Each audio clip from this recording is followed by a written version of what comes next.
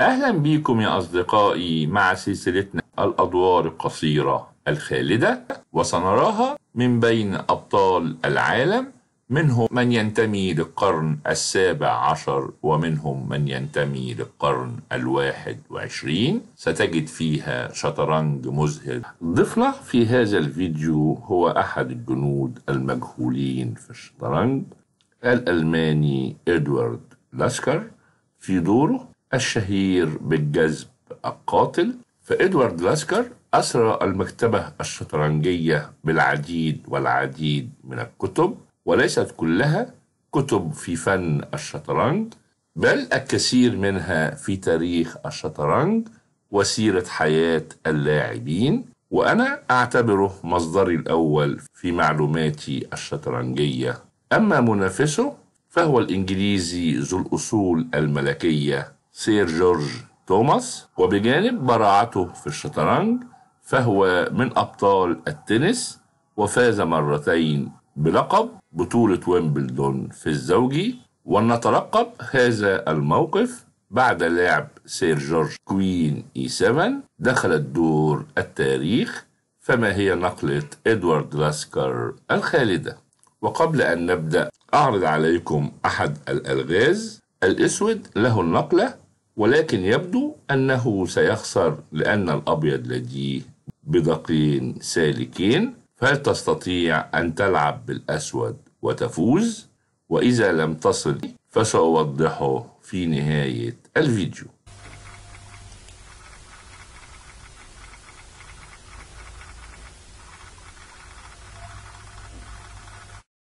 إدوارد لاسكر بالابيض وبدا D 4 ورد سير جورج E 6 النقلة دي بتفتح الطريق للفيل ولكنها أيضا نقلة انتظارية مرنة ينتظر ما يلعبه الأبيض لكي يرد عليه بالرد المناسب. وبعد knight F 3 لعب F 5 ده بيسمى الدفاع الهولندي ووظيفة البيدق هي منع الأبيض من لعب ال E 4 والسيطرة على الوسط لكن النقلة دي لها عيب خطير وهي فتح الوتر تجاه الملك knight C 3 بيدعم لعب ال E 4 لكن الأسود منعه بال knight F 6 والحصان بيراقب المربع ولذلك bishop ال G 4 بيربط الحصان على الوزير وبيخرجه من المعادلة وطالب ال E 4 والأسود منعه أيضا بال bishop E 7 بيرفع الربط عن الحصان لمنع ال E 4 ومستعد للتبييت لكن يبدو إن ادوارد مصر على لعب ال E 4 ولذلك أخذ الحصان. وبالطبع دي نقلة سيئة لأنه بيتخلى عن ميزة زوج الأفيال والأسود أخذ لكن الأبيض وصل لهدفه ولعب E 4 وبيسيطر على الوسط والأسود أخذ البيدق طالب الحصان وبعد الأخذ لعب B 6 مستعد لتعبئة الفيل عن طريق ال fianchetto ومهاجمة حصان ال E 4 ولاسكر متهور وكمل knight E 5 بيفتح الوتر للوزير طالب ال queen H 5 check والملك لا يستطيع الحركة وإلا queen F 7 checkmate والنقلة الوحيدة هي ال G 6 وهنا الأبيض بياخد البيدق طالب تحريك الحصان بكش بالكشف ولابد من الأخذ وهنا بياخد البيدق بال check. والملك لو ذهب لل E 7 هياخد الفيل بال check. ولابد أن يذهب لل F 8 وهنا هيفوز بالفيل. ويخرج فائزا ماديا وفي طريقه للفوز. والدفاع الوحيد هو أخذ الحصان على الإي 5 والتخلص من المشاكل ولكن الأسود يبدو أنه لا يريد التفريط في ميزة زوج الأفيال ولذلك قام بالتبييت. والملك ذهب للأمان والرخ هيسيطر على العمود المفتوح وإدوارد بيكمل في التعبئة ب bishop D 3 والفيل بيصوب على ال H 7 وأيضا بيحمي الحصان. وهنا مرة أخرى أفضل نقلة للأسود هي أخذ الحصان وبعد الأخذ يلعب knight C 6 طالب البيدق ولو الأبيض لعب ال queen H 5 بيحمي البيدق وطالب يرفع الحصان ويهدد المات مع الفيل على ال H 7 هنا الأسود له رد مناسب ب rook F 5 طالب الوزير وطالب البيدق والأسود أفضل ولكن تأخر في أخذ الحصان وكمل bishop B 7 وإدوارد رد ب queen H 5 طالب ياخد الفيل ب check والمات على ال H 7 لأن حصان ال E 5 بيمنع الملك من الهرب. ومرة أخرى أفضل نقلة للأسود هي أخذ الحصان وبعد الأخذ يلعب ال rook F 5 ويفوز ببيدق والأسود أفضل. ولكن للأسف بالنسبة لسير جورج لم يأخذ الحصان. إنما لحسن حظنا لعب queen E 7 وده الموقف المرسوم على غلاف الفيديو. على أساس إن الأبيض لو أخد الفيل بتشيك هياخد بالبيدق طالب الحصان. والوزير بيحمي بيدق الاتش 7 لكن إدوارد لم يأخذ الفيل وإنما لعب النقلة اللي أدخلت الدور التاريخ. يا ترى إيه هي؟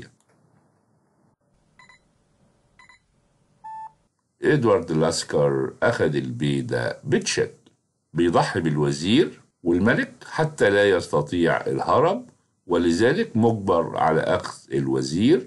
ومن هنا هتبدأ المتعة فالملك هيبدأ رحلة طويلة هنرى إلى أين تنتهي فإدوارد بدأ بال knight F 6 check بكش مزدوجة بالحصان والفيل ولابد من تحرك الملك وله مربعين. إذا تراجع هيتلقى المات فورا بال knight G 6 checkmate مات جميلة بالحصانين ولذلك ذهب لل H 6 وبدأت الرحلة بعد knight G 4 check لاحظ من هنا وحتى النهاية إن الملك الأسود لا يستطيع التراجع ولابد أن يتقدم حيث معسكر الأبيض. القطعة الصغيرة بتحاصر الملك وبتترك له مربع وحيد وهو ال G 5 والملك بيواصل الرحلة. وهنا في نوعين من التكوينات هتنتهي بإعطاء كشمات أولهم التكوينة القصيرة العادية بلعب F4 check والملك مجبر على أخذ البيدق G 3 check. الملك له مربعين. إذا تراجع لل G 5 هيتلقى المات ب H 4 checkmate وإذا ذهب لل F 3 هيتلقى المات بالتبييت لكن إدوارد ما اختارش الطريق السهل. إنما اختار الطريق الطويل الجميل ب H 4 check والملك ليس له غير مربع وحيد ال F 4 وبعد G 3 check الملك ليس له غير مربع وحيد ال F 3 وهنا جاءت ال bishop E 2 check. الملك مرة أخرى ليس له أي مربع غير الذهاب لل G 2 طالب الرخ اللي ذهب لل H 2 ب check. والملك مجبر على الذهاب لل G 1 وهنا جاءت المات الرائعة. الأبيض قام بالتبييت الطويل ب checkmate للملك اللي أخذ رحلة طويلة من عرشه إلى حيث يتلقى المات غريبا وبعيدا عن وطنه. وهنا إدوارد لاسكر بيقول واقعة طريفة.